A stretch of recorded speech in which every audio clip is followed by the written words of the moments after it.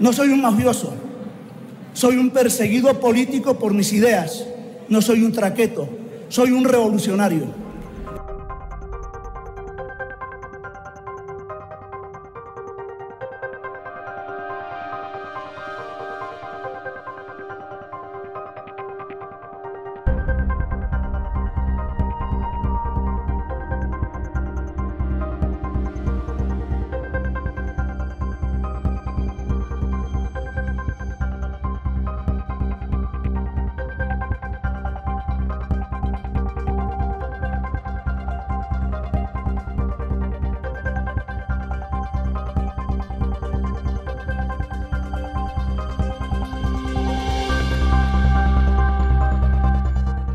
¿Están preparados para pedir perdón si esa es una cuestión innegociable?